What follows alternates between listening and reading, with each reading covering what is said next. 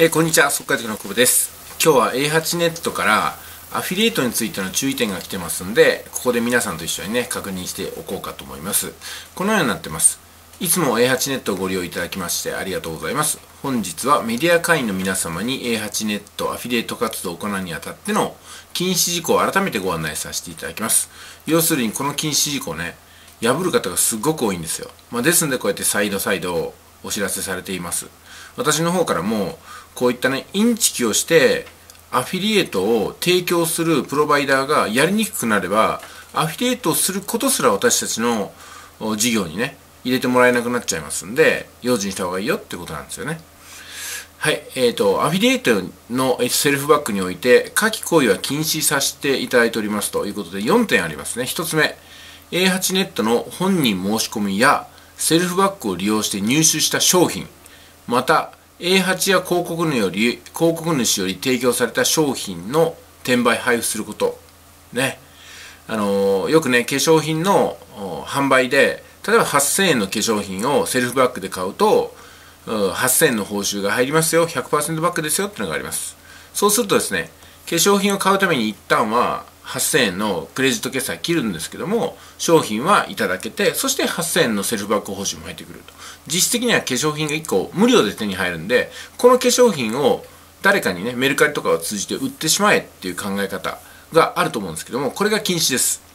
そもそもですねセルフバックってその商品を試していただくためにリスクと負担を金銭的負担をあの広告主さんが減らした意味でね善意で届けてくださってるんでそれを封も開けずに新品だからっていうのでお小遣いに変えようとかね3000円で売ってみようとか4000円で売ってみようみたいなことをすると結局セルフバッグをねもうやめようかなってことになっちゃうわけなんですよ。サンプルを配ろうと思って使ってもらいたかったのにもうそれをね使わずに売るっていうのは趣旨と反してるからちょっとやめようかなってことになっちゃうわけですよね、うん。えもともと広告主さんも A8 ネットさんも転売ってものが起きることを、まあ、織り込み済みでやってるんでね。性善説なんですよ。そういうことする人はいないだろう。いても少数だろうということなんですけども当たり前のようにですね無料で商品を手に入れる方法とかあそんなノウハウを売ってる人もいるぐらいなんですよ。よくないですね。次。自分の利益のために興味がない広告に申し込みを行うことや過度な注文を行うことです。これも同じようなものなんですけどもあの商品に興味があるというよりもセルフバック報酬目当てにそればっかりやるってこと。これもですね結局アカウントの履歴を見れば報酬目的でセルフバックばっかりやってるっていう風になってきてアカウントが停止されたり制限されたりとかね、えー、特別な連絡が来たりとかすればやっぱお互いに面白くないですから今はねあの昔はねあのセルフバック優先っていうのもあったんですけども今はそうじゃないです。セルフバックをやったら必ずアフィリエイトをやってその商品の良さとかね商品が売れるように協力してくださいってことなんですよね、うん、アフィリエイターとしての第一歩。その第一歩は自己アフィリエイトからなんですけどもずっと自己アフィリエイトをやりましょうって話じゃないんですよ。自己アフィリエイトで手順を覚えて大体の成り行きが分かったらね今度はアフィリエイトにしていくってことを期待して商品提供してくださってますんでその辺の理解が必要だということです。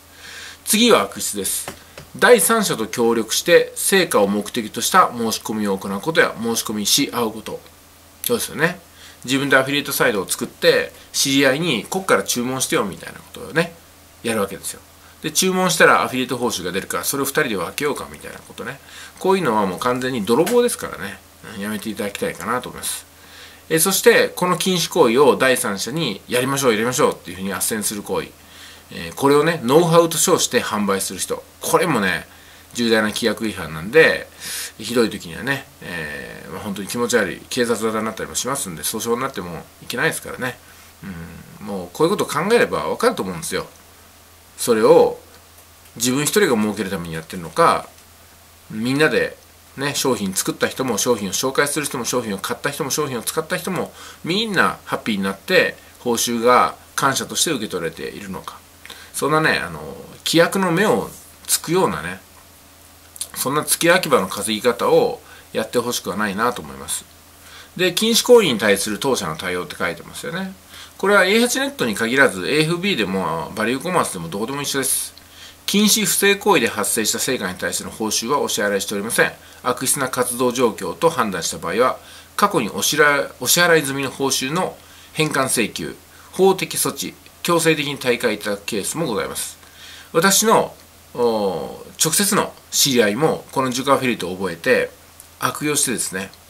法的措置を取られたという例があります。えそしてね数年間に及ぶ弁済をしているということでございます。うんでこうなるとですねもう本当にやってらなくなっちゃいますしそういうのを警戒してセルフバックをやめてしまったりとかセルフバック報酬をね極端に減らすみたいな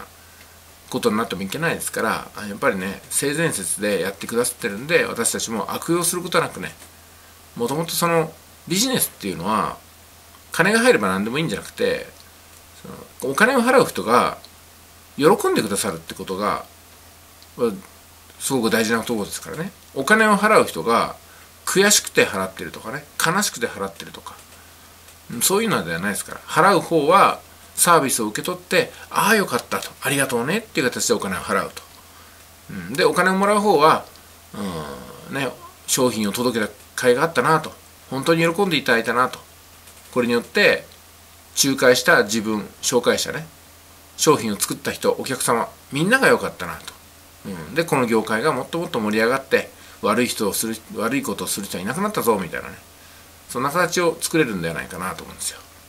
うん、まあビジネスですからね。三方よしから四方よし五方よしってよく話しますよね。注意して取り組んでいただきたいと思います。それでは失礼します。